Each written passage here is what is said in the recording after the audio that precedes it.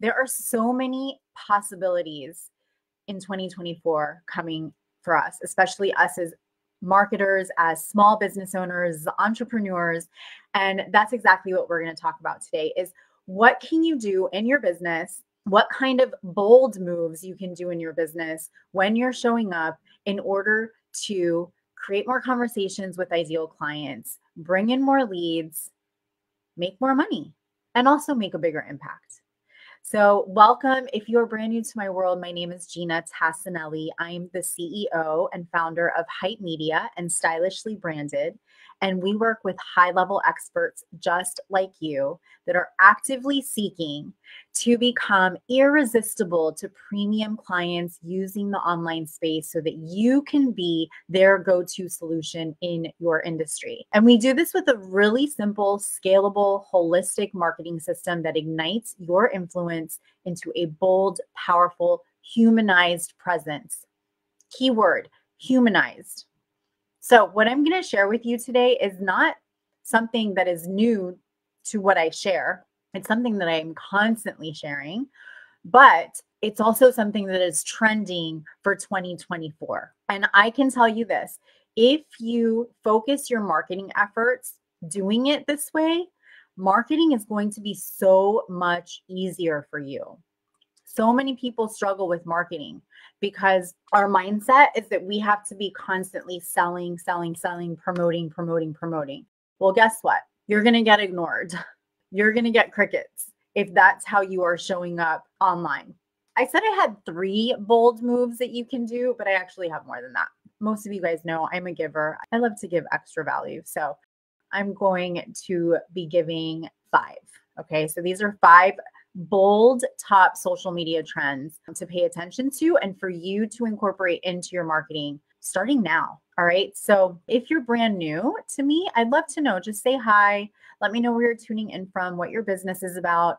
If you're watching this on the replay and you have questions or comments, please don't hesitate to drop them. I always come back, as you guys know, and I check the comments. Okay. So I will not ignore you. I promise. So here's really the main focus to everything that I'm going to share with you today is that having a humanized presence in your marketing is really the center of all of it. And it could be with you, it could be collaborating with others, but simply just understanding that the more human elements that you can add to your marketing, the better off you are going to be this coming year. And at the same time, it's an easier way of marketing because you don't have to feel like you're competing with somebody who's offering the same thing. You're just being you. Okay.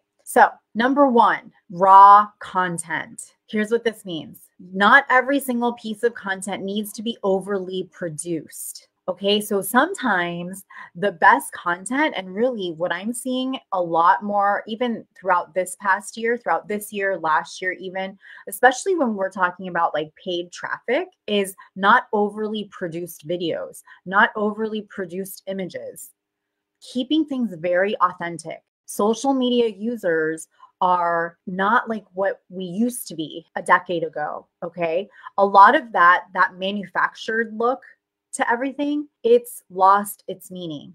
People are really wanting to connect more. And even with organizations and big corporate brands. Okay. So they want to hear your voice.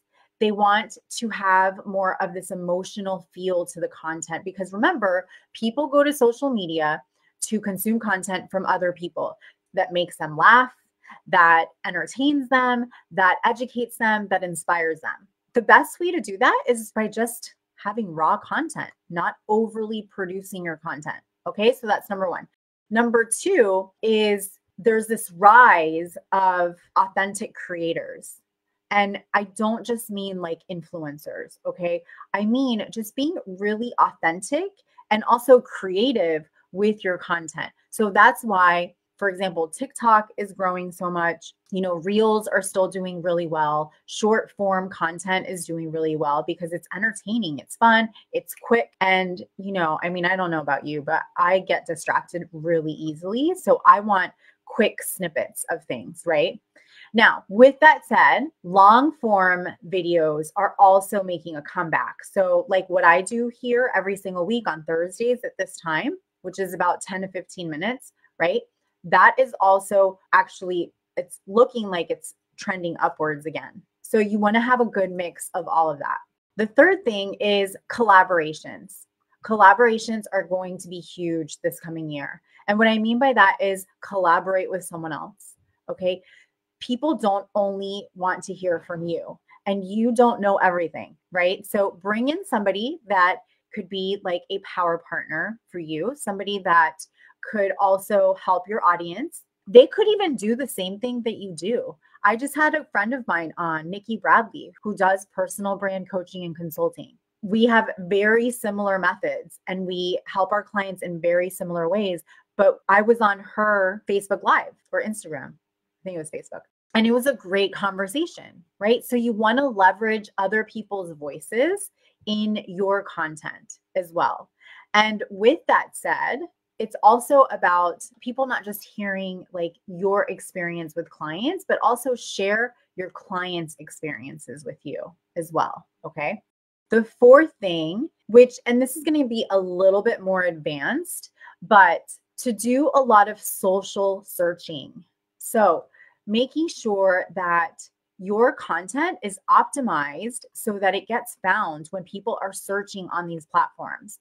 So you want people to discover you, right? It's not just your own audience that you want to reach, you want to reach outside of your audience. So make sure that you are paying attention to keywords. You can do this by optimizing your video titles, your headlines inside of your captions, the words that you use in your captions, hashtags where those are more relevant, right? Like Instagram, even over on LinkedIn, obviously, or also TikTok, places like that. So keep things relevant, and this is going to help you to amplify your reach. And then the fifth thing, now this is again a little bit more advanced and techy, but that's going to be AI, using AI for social listening. And so you see now a lot of AI being incorporated inside of these platforms.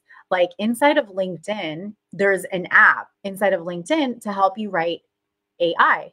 It'll also give you suggestions on how to comment on something. So you want to pay attention to what those suggestions are because it's using real time information that it's gathering.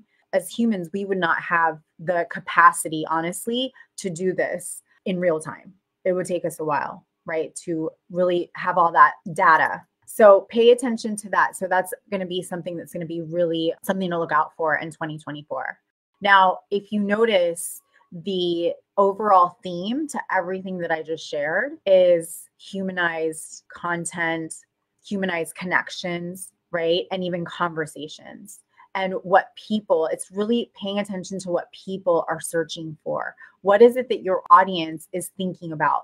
Not so much what are you thinking about that they need. Okay. And keeping it simple. So I hope that this was helpful. All right, guys, I'll see you later.